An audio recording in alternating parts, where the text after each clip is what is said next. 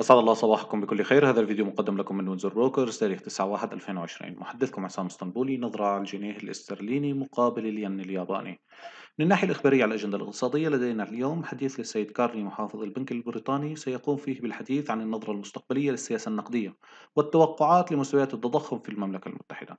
أما من الناحية التقنية نلاحظ التداولات المحايدة حاليا للجنيه الاسترليني مقابل الين داخل المنطقة المحورية 142.77 142.97 كسر مستوى ال 142.77 حاليا يعزز النظرة السلبية في حركة الجنيه الاسترليني مقابل الين للوصول إلى مستويات ال 142.20 كسر مستوى ال 141.95 أيضا يعزز النظرة السلبية لوصول الأسعار إلى مستويات ال 141.38 عودة الأسعار أعلى مستوى ال